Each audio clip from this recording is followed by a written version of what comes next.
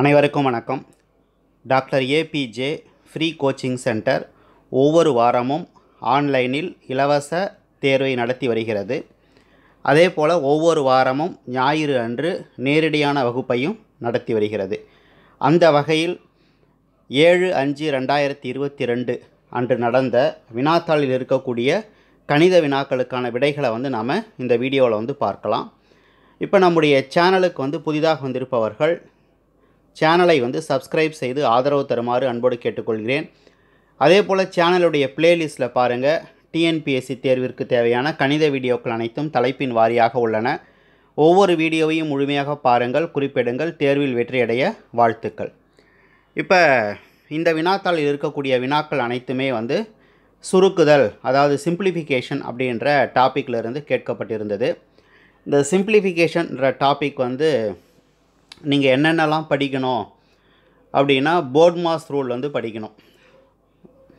அடுத்தது ஐடென்டிட்டிஸ் முற்றொருமைகள் படிக்கணும். அடுத்தது வந்து விகிதமுறி எண்களில் அதாவது ரேஷ்னல் நம்பரில் கூட்டல் கழித்தல் பெருக்கல் வகுத்தல் அதெல்லாம் வந்து படிக்கணும். அதுக்கப்புறம் வந்து அடுக்குக்குறி விதிகள் சர்ட்ஸ் அண்ட் இண்டஸ்ட்ரீஸை சொல்கிறோம் இல்லையா அது படிக்கணும்.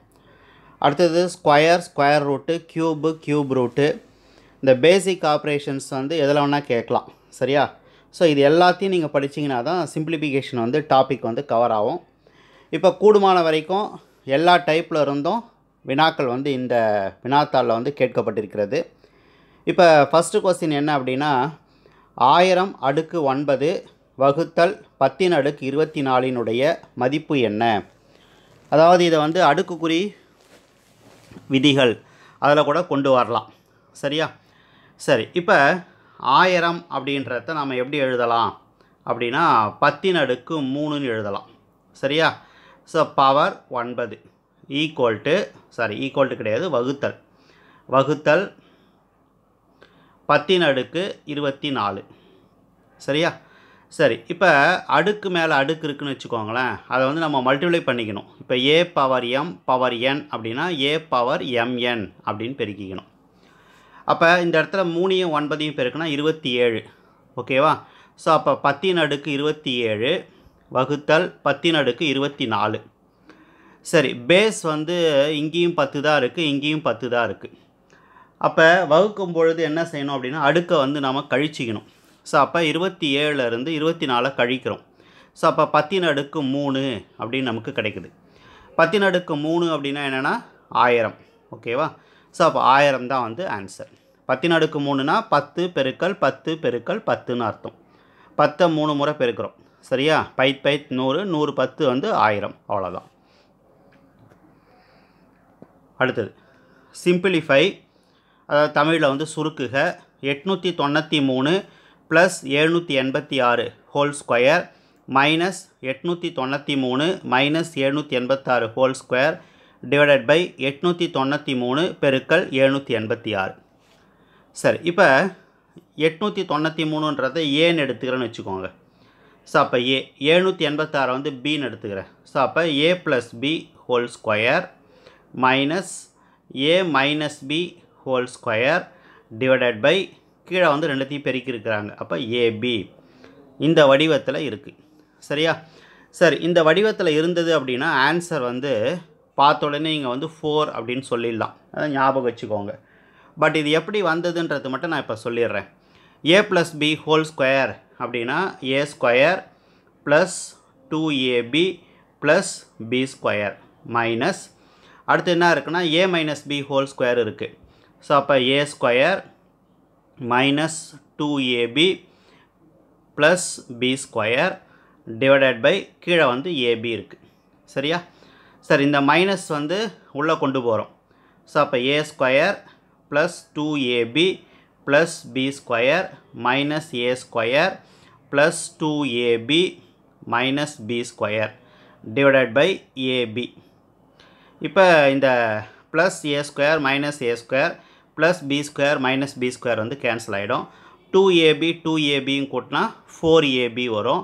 கீழே வந்து ஏபி இருக்குது ஏபி ஏபி கேன்சல் ஆச்சுன்னா ஃபோர்னு வரும். அப்போ நீங்கள் இந்த ஃபார்மேட் வந்து ஞாபகம் வச்சுக்கிறீங்க. A plus b whole square minus a minus b whole square divided by a b இந்த ஃபார்மேட்டில் வந்தது அப்படின்னா அதுக்கு ஆன்சர் வந்து ஃபோர் அவ்வளோதான் ஏவுக்கு பதிலாக எட்நூற்றி தொண்ணூற்றி மூணுன்னு இந்த கணக்கில் இருக்குது எந்த நம்பர் வேணால் இருக்கலாம். பிக்கு பதிலாக இந்த கணக்கில் எழுநூற்றி எண்பத்தாறுன்னு இருக்குது எந்த நம்பர் வேணால் இருக்கலாம். சரியா? அதை நீங்கள் ஞாபகம் வச்சுக்கோங்க. அடுத்தது. Root three equal to one point seven three two root two equal to one point four one four எனில் one by root three plus root டூவினுடைய மதிப்பு என்ன? அப்படின்னு சொல்லி கேட்குறாங்க சரி இப்போ one by root three plus root two இதனுடைய மதிப்பு கண்டுபிடிக்கணும். சரி நான் என்ன செய்கிறேன் அப்படின்னா மேலே வந்து ரூட் த்ரீ மைனஸ் ரூட் டூவால் பெருக்கிறேன். ஸோ கீழேயும் வந்து ரூட் த்ரீ மைனஸ் ரூட் டூவால் பெருக்கிறேன். ஏன்னா வந்து ஒரே நம்பரால் மேலேயும் கீழேயும் பெருக்கும் பொழுது மதிப்பு வந்து மாறாது. சரி ஏன் மைனஸ் எடுத்துருக்கிறேன் அப்படின்னா நமக்கு கீழே வந்து இந்த இடத்துல ப்ளஸ் இருக்குது அதனால் நான் மைனஸ் பெருக்கியிருக்கேன். சப்போஸ் இங்கே மைனஸ் இருந்ததுன்னா நீங்கள் இங்கே ப்ளஸில் பெருக்கியிருக்கணும். அவ்வளோதான் சரியா? சரி இப்போ ஒன்றையும் ரூட் த்ரீ மைனஸ் ரூட் டூவையும் பெருக்கணும். அதே தான் வரப்போகுது. டிவைடட் பை இது வந்து எப்படி இருக்குன்னா ஏ ப்ளஸ் பி இந்தாண்ட வந்து ஏ மைனஸ் பின்னு இருக்குது ஏக்கு பலா ரூட் த்ரீ பிக்கு பதிலாக root two a plus b இந்த இடத்துல ஏ மைனஸ் பின்னு இருக்குது ரூட் த்ரீ மைனஸ் ரூட் டூன்னு சொல்லிட்டு. அப்போ a plus b into a minus b என்ன அப்படின்னா ஏ ஸ்கொயர் மைனஸ் பி ஸ்கொயர்னு அர்த்தம். சரி ஏக்கு பதிலாக ரூட் த்ரீ இல்லையா? ஸோ ரூட் த்ரீயை ஸ்கொயர் பண்ணுறோம் மைனஸ் பிக்கு பலா ரூட் டூவை ஸ்கொயர் பண்ணுறோம் ரூட் த்ரீயை ஸ்கொயர் பண்ணால் த்ரீ ஓகேவா? ரூட் டூ ஸ்கொயர் பண்ணால் டூ த்ரீயில் டூ போச்சுன்னா ஒன்று அப்போ root three minus root two அதான் வந்து ஆன்சர் சரி ரூட் த்ரீ என்ன கொடுத்துருக்காங்க? One point seven three two கொடுத்துருக்குறாங்க. ரூட் டூ என்ன கொடுத்துருக்காங்க? ஒன் பாயிண்ட் ஃபோர் ஒன் ஃபோர்னு கொடுத்துருக்குறாங்க. ஸோ அப்போ கழிக்கிறோம். ஸோ பன்னெண்டில் நாலு போச்சுன்னா எட்டு. ரெண்டில் ஒன்று போச்சுன்னா ஒன்று ஏழில் நாலு போச்சுன்னா மூணு. அப்போ ஜீரோ புள்ளி மூணு ஒன்று எட்டு. அதான் வந்து ஆன்சர் சரியா? அடுத்தது. ஏ ஆனது பெருக்கல் பி ஆனது கூட்டல் சி ஆனது வகுத்தல் டி ஆனது மைனஸ். ஐ குறிக்கிறது எனில் இதனுடைய மதிப்பு என்ன அப்படின்னு சொல்லி கேட்டிருக்கிறாங்க. சரி ஃபஸ்ட்டு வந்து நம்ம என்ன செய்கிறோம் அப்படின்னா டுவெண்ட்டி ஃபைவ் கொடுத்துருக்குறாங்க டுவெண்ட்டி ஃபைவ் டி டின்றது மைனஸ் இல்லையா? ஸோ மைனஸ் நாற்பத்தி ரெண்டு. அடுத்தது சி சின்றது வகுத்தல் இல்லையா? ஸோ வகுத்தல் ஆறு. அடுத்தது பி பின்றதுனால ப்ளஸ்ஸு ஸோ அப்போ ப்ளஸ் பத்து. ஏ வந்து என்னது? பெருக்கல். ஸோ பெருக்கல் அஞ்சு. ஸோ இதை தான் நாம் கண்டுபிடிக்கணும். சரி இப்போ போர்ட் மாஸ் ரூல் படி ஃபஸ்ட்டு ப்ராக்கெட் செய்யணும். பீனா வந்து ப்ராக்கெட் அதாவது போர்ட் மாஸ் ரூல் வந்து பிஓடி எம்ஏஎஸ் ஓகேவா இதில் வந்து ப்ராக்கெட் வந்து நம்ம கணக்கில் இல்லை. ஆஃப்ன்றதும் நம்ம கணக்கில் இல்லை. ஓகேவா அந்த ஓஎஃப்ன்ற எழுத்தை கொடுத்துருப்பாங்க. தமிழில் வந்து இன்னு இல்லை. அது இதில் இல்லை. சரி இந்த டிவிஷன் மல்டிப்ளிகேஷன் தான் நம்ம ஃபஸ்ட்டு செய்யணும். ஃபஸ்ட்டு டிவிஷன் செய்யணும் அதுக்கப்புறம் மல்டிப்ளிகேஷன் செய்யலாம். இல்லைனா ரெண்டும் வந்து சேம் பீரியாரிட்டி தான். இடது பக்கத்துலேருந்து நாம் வலது பக்கம் போகும் பொழுது இடது பக்கத்துலேருந்து வலது பக்கம் போகும் பொழுது எது முதல்ல வருதோ அதை செய்யலாம். தப்பு கிடையாது. அப்போ இருபத்தி அஞ்சு மைனஸ் நாற்பத்தி ரெண்டு வகுத்தல் ஆறு இல்லையா? மைனஸ் போட்டுக்கிறேன். ஸோ இந்த நாற்பத்தி ரெண்டு ஆறால் வகுக்கிறேன். ஸோ நாற்பத்தி ரெண்டு ஆறால் வகுத்தா ஏழு. ஏழாறு நாற்பத்தி ரெண்டு. ப்ளஸ் பத்து பெருக்கல் அஞ்சு. ஓகேவா அடுத்த ஸ்டெப்பில் இருபத்தஞ்சி மைனஸ் ஏழு ப்ளஸ் இந்த பத்தி அஞ்சையும் பெருக்கிக்கிறேன். ஓகேவா பைத்தஞ்சு வந்து ஐம்பது. அடுத்தது ஐம்பதும் இருபத்தஞ்சும் ரெண்டும் ஒரே கூட்டல் குறி இல்லையா? ரெண்டும் ப்ளஸ் தான். ஐம்பது இருபத்தஞ்சும் எழுபத்தஞ்சு மைனஸ் ஏழு. எழுபத்தஞ்சில் ஏழு போச்சுன்னா அறுபத்தி எட்டு ஸோ அப்போ அறுபத்தெட்டு தான் ஆன்சர் சரியா? அடுத்தது simplify x square minus twenty five divided by x plus three வகுத்தல் x plus five whole square divided by x square minus nine சரி இப்போ ஒன்று எக்ஸுக்கு பதிலாக நீங்கள் ஏதாவது ஒரு வேல்யூ சப்ஸ்டியூட் பண்ணி இது என்ன வருதுன்னு பார்க்கலாம். அதே வந்து ஆப்ஷனுக்கும் ஆன்சர் வருது அப்படின்னா அது யூஸ் பண்ணிக்கலாம். இப்போ உதாரணத்துக்கு எக்ஸுக்கு பதிலாக வந்து ஜீரோன்னு போகிறோன்னு வச்சுக்கோங்களேன். ஸோ எக்ஸுக்கு பதிலாக ஜீரோன்னு போட்டால் இது வந்து மைனஸ் இருபத்தஞ்சி டிவைடட் பை மூணுன்னு வரும். அடுத்தது வகுத்தல். இங்கே எக்ஸுக்கு பதிலாக ஜீரோ போட்டால் ஜீரோ ப்ளஸ் அஞ்சு அஞ்சு. அஞ்சு ஸ்கொயர் எவ்வளோ இருபத்தஞ்சி டிவைடட் பை மைனஸ் நைன் அப்படின்னு வருது. ஓகேவா ஸோ அப்போ மொதல் பின்னத்தை அப்படியே எழுதி ரெண்டாவது பின்னத்தை பெருக்கலாக மாற்றிக்கிறோம் வகுத்தல்ன்றத பெருக்கலாக மாற்றிக்கிறோம் ஸோ அப்போ மைனஸ் ஒன்பது பை இருபத்தி அஞ்சு. ஸோ அப்போ இந்த மைனஸுக்கு மைனஸ் கேன்சல் பண்ணிடலாம். இருபத்தஞ்சி இருபத்தஞ்சி கேன்சல் பண்ணிடலாம். ஓர் மூணு மூணு மூ மூணு ஒன்பது. ஓகேவா அப்போ கொஸ்டின் வந்து என்ன வருது அப்படின்னா மூணுன்னு வருது. இப்போ ஆப்ஷனில் அதே போல் எக்ஸஸ் ஈக்குவல் டு ஜீரோ அப்படின்னு போட்டால் எது மூணு வருதுன்னு பார்க்கணும். சரியா? இந்த இடத்துல எக்ஸ் பி ஆப்ஷன் பாருங்கள் எக்ஸ் ஈக்குவல் டு ஜீரோன்னு போட்டால் மைனஸ் ஃபைவ் பெருக்கல் மைனஸ் த்ரீ டிவைடட் பை ஃபைவ்னு வரும். இந்த ஃபைவ் ஃபைவ் கேன்சல் பண்ணிடலாம். மைனஸ் இன்ட்டு மைனஸ் ப்ளஸ் த்ரீன்னு ஆகிடும் அப்போ இதான் வந்து ஆன்சர் இது ஒரு மெத்தேடு இல்லை அப்படின்னா நீங்கள் ட்ரெடிஷ்னல் மெத்தடில் போடணும். X square minus twenty five இருக்கு இல்லையா? இதை வந்து எக்ஸ் ஸ்கொயர் மைனஸ் ஃபைவ் ஸ்கொயர்னு எழுதலாம். ஓகேவா ஃபைவ் ஸ்கொயர்ன்றது டுவெண்ட்டி ஃபைவ் கீழே வந்து எக்ஸ் ப்ளஸ் த்ரீன்னு இருக்குது ஓகேவா வகுத்தல். இங்கே x plus five whole square divided by x square minus nine இருக்கு இல்லையா? நைனை வந்து த்ரீ ஸ்கொயர்னு எழுதலாம். ரைட் இப்போ இது வந்து எப்படி இருக்குன்னா A square minus B square மெத்தடில் இருக்குது அப்போ இது எப்படி எழுதலாம்னா ஏ ப்ளஸ் பி அதாவது x plus five into x plus minus ஃபைவ்னு எழுதலாம். கீழே வந்து எக்ஸ் ப்ளஸ் த்ரீ இதை வந்து வகுத்தல் வந்து பெருக்கலாக மாற்றிக்கலாம் ஸோ பெருக்கலாக மாற்றிட்டு கீழே இருக்கிறது மேலே போவோம். எக்ஸ் ஸ்கொயர் மைனஸ் த்ரீ ஸ்கொயருக்குள்ளே அது வந்து x plus three into x minus த்ரீன்னு ஆகிடும் ஏன்னா A square minus B square மெத்தடில் இருக்குது சரியா? கீழே வந்து x plus five x plus five ரெண்டு முறை எழுதிக்கலாம். ஏன்னா ஹோல் ஸ்கொயர்ன்றதுனால இப்போ ஒரு எக்ஸ் ப்ளஸ் ஃபைவ் ஒரு எக்ஸ் ப்ளஸ் ஃபைவ் கேன்சல் ஆகிடும் ஒரு எக்ஸ் ப்ளஸ் த்ரீ ஒரு எக்ஸ் ப்ளஸ் த்ரீ கேன்சல் ஆகிடும் அப்போ மீதி இருக்கிறது x minus five x minus three கீழே வந்து எக்ஸ் ப்ளஸ் ஃபைவ் ஸோ இதான் வந்து ஆன்சர் ஓகேவா ஸோ இந்த பி தான் வந்து ஆன்சர் அடுத்தது find the value of five power zero plus six power minus one into three square so இங்கே வந்து எனிதிங் பவர் ஜீரோ வந்து ஒன்றுன்னு தெரியணும். ஸோ ஃபைவ் பவர் ஜீரோ வந்து ஒன்று ப்ளஸ் சிக்ஸ் பவர் மைனஸ் ஒன்னை வந்து கீழே கொண்டு வந்தால் ஒன் பை சிக்ஸ்னு ஆகிடும் ஓகேவா அடுத்தது பெருக்கல் த்ரீ ஸ்கொயர்னா நைனு ஸோ இது ஆறையும் ஒன்றையும் பெருக்கணும். ஆறு ஒன்றை கூட்டினா ஏழு. ஸோ அப்போ ஏழு பை ஆறு பெருக்கல் ஒன்பது. இது வந்து ஈர் மூணு ஆறு மூ மூணு ஒன்பது. ஸோ அப்போ ஏழு மூணு இருபத்தொன்று இருபத்தொன்று பை ரெண்டு. அதான் வந்து ஆன்சர் அடுத்தது. P plus two Q equal to பதினெட்டு பிக்யூ ஈக்குவல் டு நாற்பது அப்படின்னா two by P plus one by கியூனுடைய மதிப்பு என்ன? அப்படின்னு சொல்லி கேட்குறாங்க ஸோ இது வந்து பார்த்தோன்னே தெரியுது. எட்டஞ்சு நாற்பது அதாவது பி வந்து நான் வந்து எட்டுன்னு எடுத்துக்கலாம். ஓகேவா கியூ வந்து அஞ்சுன்னு எடுத்துக்கிறேன். அப்படி எடுத்திங்கன்னா இதுவும் ஒத்து வருது. பிக்கு பதிலாக எட்டு. டூ கியூ டூ கியூனால் ஈரஞ்சு பத்து. ஈக்குவல் டு பதினெட்டுன்னு வருது. ஓகேவா அப்போ பிக்கு பதிலாக எட்டு கியூக்கு பதிலாக அஞ்சு. ஸோ இதை நீங்கள் பை எக்ஸ்பீரியன்ஸில் நீங்களே கண்டுபிடிக்கலாம். சரியா? அப்படி இல்லை அப்படின்னா இந்த ரெண்டு ஈக்குவேஷனும் நீங்கள் சால்வ் பண்ணணும். சால்வ் பண்ணி நீங்கள் கண்டுபிடிக்கணும். சரியா? ரைட் இப்போ நமக்கு two by P plus one by Q so அப்போ two by eight plus one by Q Q வந்து அஞ்சு. ஓகேவா சரி. இதை வந்து ஒன் பை ஃபோர்னு போட்டுக்கலாமா? One by four plus one by five ஏன்னா ஓ ரெண்டு ரெண்டு நாலு ரெண்டு எட்டு.